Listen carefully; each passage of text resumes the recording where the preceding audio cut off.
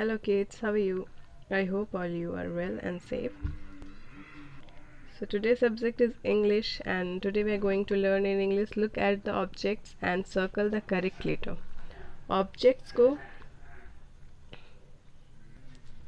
so object को पहचानना है और रिलेटेड लेटर को सर्कल करना है करेक्ट लेटर को सर्कल करना है सो so, ये पिक्चर जो है किस चीज़ की पिक्चर है ये रोज़ की पिक्चर है right so R for rose होता है। आर फोर रोज़ होता है तो इन तीनों में लेटर इन तीन लेटर में आर कौन है?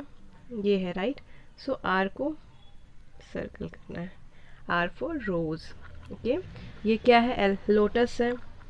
ये किस फ्लावर की पिक्चर है? लोटस की है राइट तो लोटस एल फॉर लोटस होता है राइट सो एल को सर्कल करना है।